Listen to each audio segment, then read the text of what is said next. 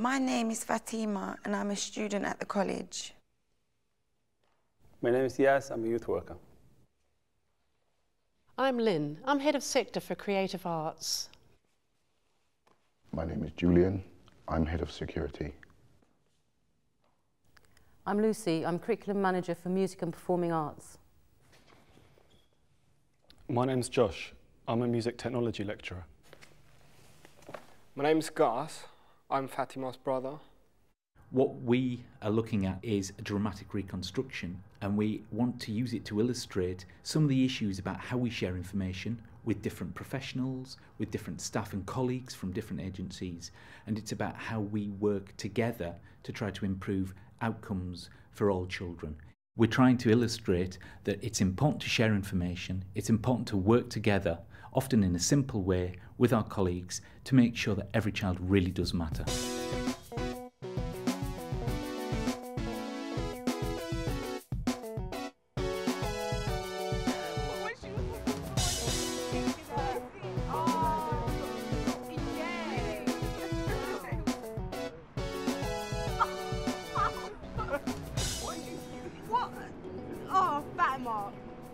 Your fashion sense has gone downhill. what the hell is this? Look. I've chosen to wear this hijab because my new boyfriend is a devout Muslim and I just want to support him. But my friends, they just won't accept me. Is this like for a devil or something? no, it's not. Zero one, can you come to the mail reception? Over. good one, good one. Oh, she's all crying. Okay, what seems to be the problem? We need you to assist some visitors at the mail reception. Okay, received. I saw a possible incident today. I was about to respond. I couldn't, as uh, I got a call from the radio. I then forgot about it. It was the end of the class, and Fatima came to talk to me about some aggro she'd had with some of the other students. From what she was saying, it seemed like quite a culturally sensitive issue. I didn't really feel it was a time or the place to be dealing with it. Sorry I was late earlier, Josh. I've just been having a really hard time with some of the pupils in the class. I just needed some time to deal with it. Okay, look, I'm really sorry you're having problems at the moment. I'm a little bit busy. Can I talk to you about it later, yeah? Is that okay? Yeah. I also had another class to go to, and unfortunately, I had to rush off. I came to the canteen and I saw a young girl sitting by herself. What? You think we don't know that he snitched on us, Sam? Then I saw other three students came to sit with her and then they were trying to bully her and call her some names. Hello. Excuse me. Nice to meet. Sorry. And then I went up to them and told them to stop. Are you okay? What's wrong? I sat with the- the student and I talked to her. And as far as I was concerned, that was the end of it. Okay, Dorian? Thanks. Bonner? Yes, sir. Fatima? She's not in, sir. Zim? Uh, yes, sir. Cool. Ade? Yes, sir. And Shakira? Yes, sir.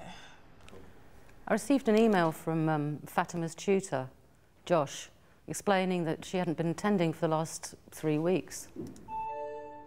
It's very peculiar because she's been such a conscientious student in the past. I thought she was going to do very well. The whole thing is just very confusing. I've just heard about an incident involving one of my students, Fatima. Uh, I don't really know what's gone on. Clearly something's happened because I've been told that her attendance has really dropped alarmingly. There's some case of bullying by the sound of it, and I don't know what's been done about it, but I really think I'm going to have to look into it and maybe think about how we can do something different next time round. Come on, Fatima, come on. I mean, you've got college now. Whatever the issue is, I think it's some kind of anti-Islamic issue just because she wears a hijab and she feels insecure and people are teasing her. It doesn't matter if they don't accept you. I mean, you know, you should. Fatima's changed quite a lot. I mean, she hasn't been turning up to college. She goes out to lunch and doesn't really return back to college. I think you should tell somebody as well. And for me, it's kind of hard to deal with because I am, you know, not always there for her. This is my brother, Gus. Nice to meet you. Hi, nice to meet you. And this is my tutor. You're right. I'm doing good, thanks. Fatima's story took a while to resolve, and college staff worked together to devise better ways of dealing with situations of this nature. And I'm looking into staff awareness training.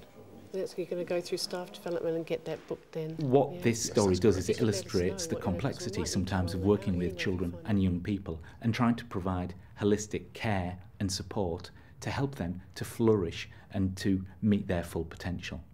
What integrated working is trying to do is trying to say we need to work together, we need to share information, often simply, simple information shared with the right people in our own environment. So often we need to share information with people who might not seem to be the first tier of support for children and young people, but often who have a huge amount of knowledge that will impact on that child's well-being and their development. Ever since Dad left, I don't know what to do with myself. I mean, I hate Mum for letting him go. I needed him, he's my dad. But I love Mum. But I hate her.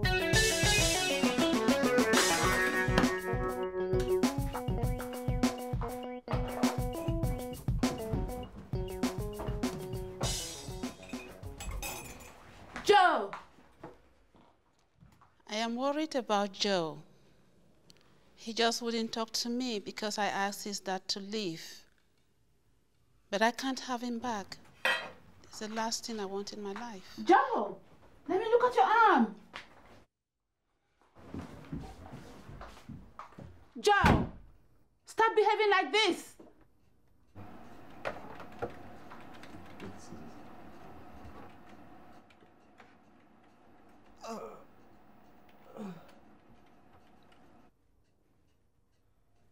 I'm the social worker based in Joe's school.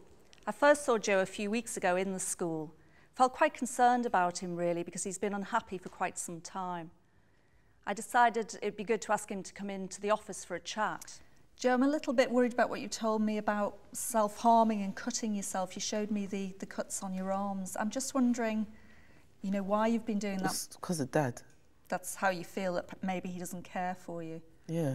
I suggested to Joe that maybe he go and talk to a therapist. He seemed really keen on the idea, but when I set up the appointments, he didn't go to them. So I had a chat with Michelle, who's the educational psychologist. I've been quite worried about Joe, and I suppose I've wondered about the common assessment framework and kicking that off. Absolutely. Um, I was aware that Joe's grades were slipping, but I hadn't been aware of the self-harming. I was in a meeting with the school SENCo, and she expressed that she was very concerned over Joe's learning at the moment. Um, he's a very bright boy, and previously he's done very well at school. However, recently his performance has really been dipping. I have a feeling that Pamela from the Family Welfare Association might actually be involved with this family. So perhaps if we contact her first, that might be a good idea. I think that's a really good idea. Okay. Tambi contacted our service recently because she was looking for some support with her parenting. Things have become very difficult with her and Joe at the moment. Issues. He's not open about it to me. Mm. He just seems very frustrated. How would you feel about Joe seeing his dad independently of you? I don't want him to see his dad. No, that's not something I want. Who else do you think we might need to invite to help complete the common assessment framework? I think it really needs a kind of therapeutic input. Um, so I think Anthea would be a really good person to contact. I've offered Joe numerous appointments at the clinic to come in and see me. However, he's never attended. Jay has subsequently invited me to attend his team around the child meeting, which I think will be my next point of call. Mum was very worried, wasn't she, that Joe was spending a lot of time in his bedroom on Yes, his computer at the moment. It might be quite good if the youth worker could get him out and about. Okay, yeah. I am suggesting that uh, if uh, we can uh, get introduced to Joe and then come to the youth club, introduce him to his peers, and uh, as well as we can offer him a mentoring service. This is Michelle. This is Anthea. Well, thank you very much for all coming to the meeting today. We thought it'd be a good idea if we all came together. That way, we're more likely to work out some ways forward to help Joe and to help you, Tambi, as well. What would be useful is if I hand out a copy of the form, and then if you'd like to take one and pass it on. This form records Joe's needs and his strengths, and also how the family can help Joe move on and take steps forward. If we look at the first section, um, we're looking at the development of Joe. and we're just thinking about his general health. Joe, we've made a few appointments for you to come in and see us at the clinic, but you never seem to attend. Is there maybe a reason for that? I don't think there's anything wrong with me. Why should I come? I don't want my, all my friends to see me going to a clinic. Well, Joe, how would you feel if I came into school on a few days and you came to see me? Then it could just be you coming out of class for a couple Well- of minutes just to have a chat. I guess so. Joe, we, we've noticed that recently your grades have been dropping at school. I know that we've talked about why that's the case, but would you like to explain to everyone else? I can't concentrate. Like, maybe if I was to see my dad, then I might be able to start concentrating again. Him meeting his dad on his own? I'm not very sure about that. I want to see that. That's a good idea. That's why we're here. Yes, but not on your own. Why not? So I do feel it's quite important for Joe that he knows he's going to have contact with his dad and see his dad, and then perhaps concentrate on his schoolwork after that. Okay. So if we perhaps turn to page six, how the family are able to support Joe. Joe, I know you have a good relationship with your grandparents. I like them a lot. Maybe they'd be able to help with um, some contact with Joe's dad. I still just want to see him. Why do my grandparents have to be there? It should be about me. It's not about Mm. them. Perhaps if the grandparents are with you, at least at first, Joe, that might be a good step in the right direction. I think we haven't really covered some of the social issues that were discussed initially. I'm aware that you've not really been going out and seeing your friends much recently. I recently. like to stay inside and play on my computer. Gabby, are there any suggestions you've got? To... We do offer a lot of activities in terms of sports. Um, uh, that will give an opportunity to Joe, I believe, uh, to mix with his own age group. Uh, we do also offer uh, mentoring and counseling services as well. It will also be good for him to have a role model. Mm, I think that is a very good idea because his dad hasn't been much of a role model. Now, there's just one thing we need to sort of discuss before the end of the meeting, and that's about the lead professional. Tambi, is there anyone that you would feel would be useful to speak I to? I think uh, Pamela can do it because she's been on this case uh, longer than every other person here. And uh, we've had very good uh, communications with Mm. her. So I think sh that is her job. I guess that sounds like a good idea because I'm coming to see um, you both at home once a week, so at least we'd have a good chance to, to check in how things are going. So perhaps if I just quickly summarise, we've decided that Anthea will meet Joe in school at the end of the school day and that this will start next week. Joe needs better communication with his dad. He needs to be talking to his dad. And then Joe needs to be out and about with his friends more and joining in with more activities and maybe having another male role model in his life. What we are trying to do is to formalise how we share information, but also to think about formalising how we work together in a joined up way. And that's really the approach that we're trying to take. And that's why integrated working is almost an outcome of Every Child Matters. It's about what do we want to achieve at the end of this programme and at the end of this process.